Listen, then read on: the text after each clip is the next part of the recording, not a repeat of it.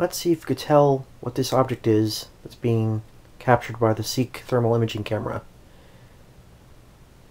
Make a guess in the comments and I will update this video in a week and actually post the answer and I will also post a further video showing the object as I was recording it.